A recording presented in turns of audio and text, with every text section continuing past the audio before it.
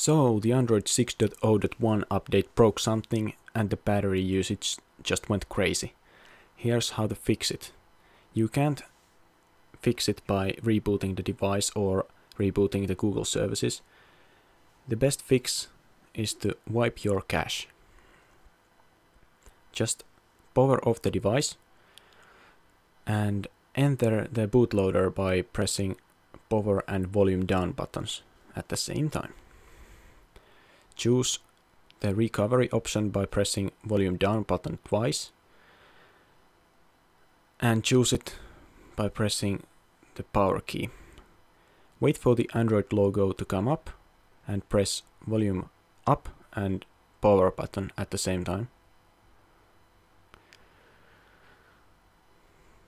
Just scroll down, do the wipe cache partition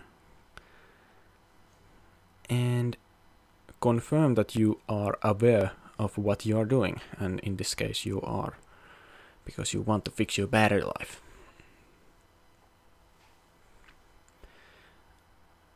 On the lower left corner it confirms that the wipe wiping was successful and you can just reboot your device and now you are good to go for a while.